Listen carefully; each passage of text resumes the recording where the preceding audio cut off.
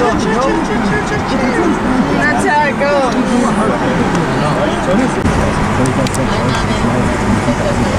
Hey, Lee, it's a, it's a thing that someone can put his arm on. Like, you know the yawn thing?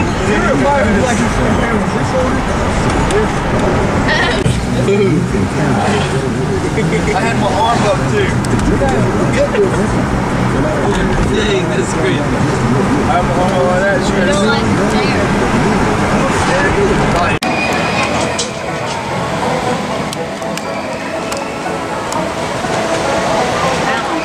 Yeah?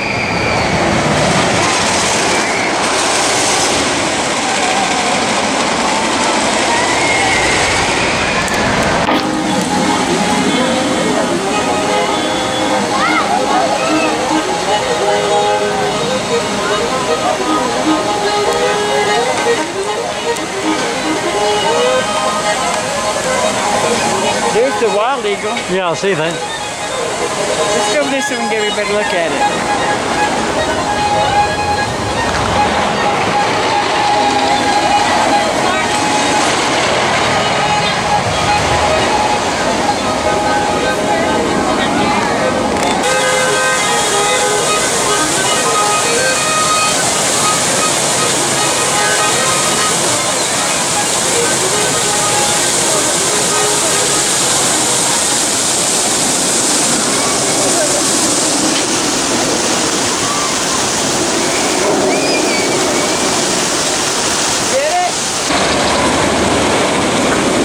Thank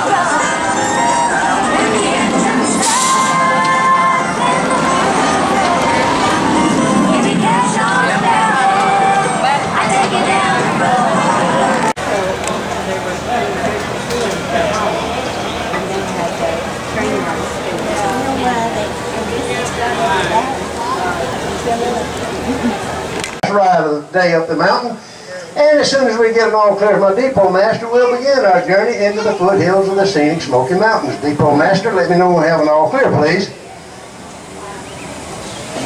And for our protection we, and safety, we should have another conductor on the back of car three. That'll be Conductor Tracy.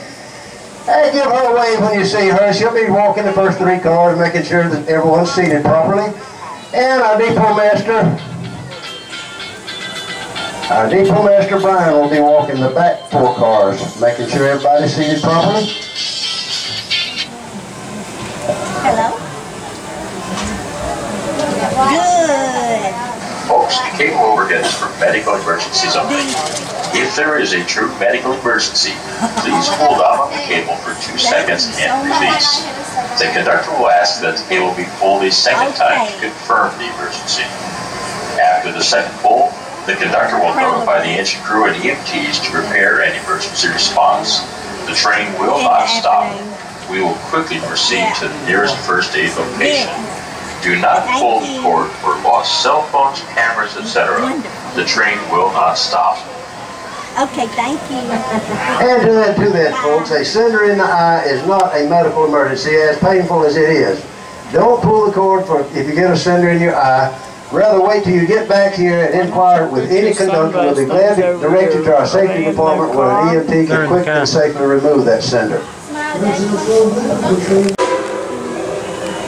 Those two whistles you just heard tells us that the engineer has received the all clear, and we will be pulling out of the depot at any moment. As we get ready to depart, let me remind you of a couple safety rules you'll need to know. Please remember to remain seated at all times. This does include small children, as they are not permitted to stand on your lap. Okay, now that we're, now that we're moving, you folks on the last few cars can wave to our depot master Brian. If all goes well, we should see him again in about 20 minutes. Although it could be a day or two. Might even be a week, but now we've never been gone longer than a week, not one time. Well, Dollywood is known as the friendliest place in the Smokies, and on the train we like to keep that tradition going, so let's get our hands up, waving all those folks out there. And on the count of three, let's give them today is always the lively. You folks just keep being friendly while we pay a ride on the Dollywood Express. Coming up on the right is Dollywood's old-fashioned grist mill, one of the few grist mills left in operation today. Every day they fresh bake that world famous warm cinnamon bread and folks there is nothing better. In May of 1938, the Baldwin Locomotive Works of Eddystone, Pennsylvania built our narrow gauge Mikado style engine number 70. Now she weighs in at just over 230,000 pounds and is a genuine coal-fired, steam-driven Type 282 locomotive. Now the 282 simply means that on the locomotive are two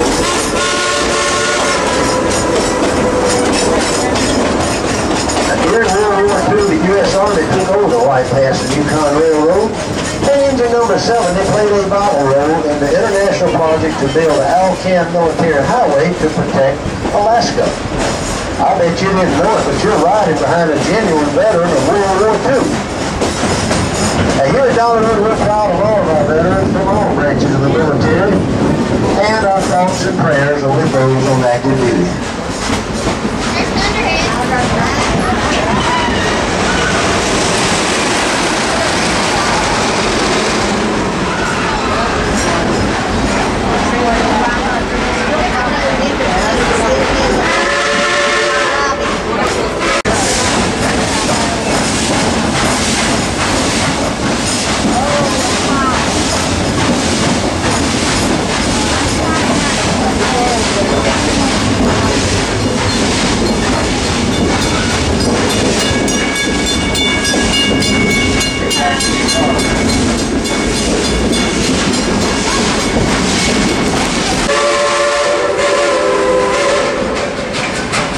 Hey, that's our engineer Chris up there.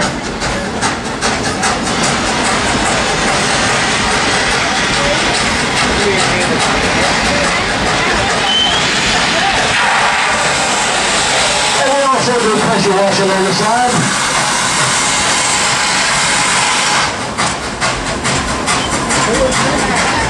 Our Cinderella has remained here on the park throughout the evolution from Silver Dollar City to present-day Dollywood, where she continues her tradition of hard work every day. Now, I want you to just sit back and relax, enjoy the scenic wonders of our Great Smoky Mountains. It's still. That's our ethanol plant. Down there still. Uh, of course, they were making ethanol before they knew they were making it.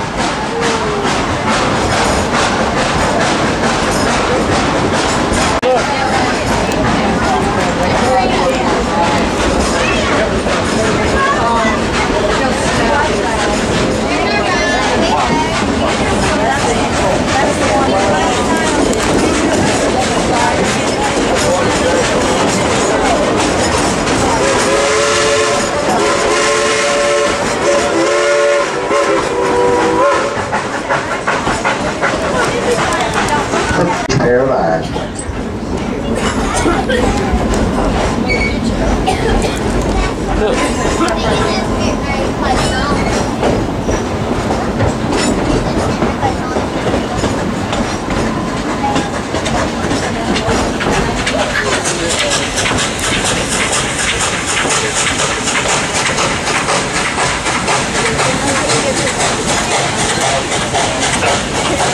Now we enjoy enjoy riding behind these old well, sometimes we like to make a little noise about it. So, how about it, folks? Would y'all like to hear Engineer Chris play a tune on that old steam whistle?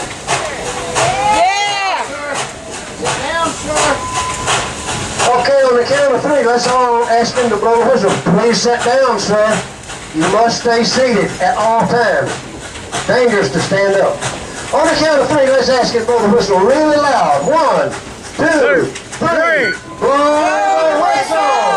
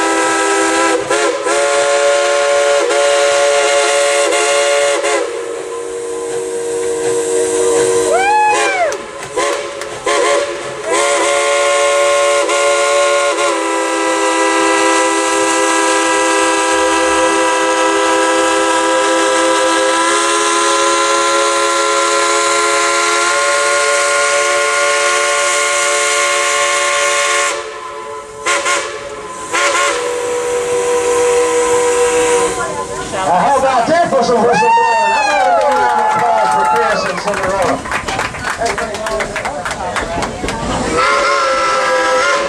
Uh, that was conductor Chris, I mean engineer Chris and Cinderella saying thank you, thank you very much. Now, if you look above the tree line way over to your left, you can see mountain, part of the. Great Smoky Mountains National Park and see why they're called the Smoky Mountains. That's the way they look the most of the time.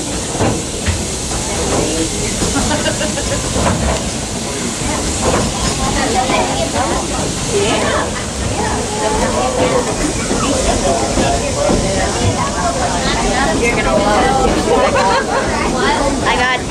Another cabin around the four corner. of these mountains. I see a And roof. these farms did look pretty much the same, probably a lot like this one on our left down here. There was a family house, they had the chicken house for gathering their eggs, they had the smokehouse for curing their meat, and they had a spring house for keeping things like their milk and butter cold. Oh yeah, they also had another real small house, but it's a very important house. Anybody know what that was called? Outhouse. Right, the outhouse. Now, kids, if you don't know what the outhouse was used for, you're going to have to ask your parents. Or maybe even your grandparents.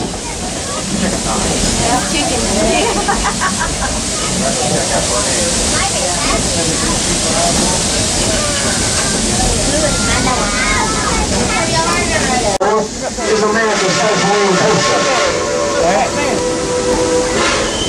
The Wild Eagle. Now you'll drop from more than 13 stories and with nothing above you or below you, you will really fly on the edge for over 3,000 feet, reaching 61 miles per hour through four chilling inversions. It might... Yeah.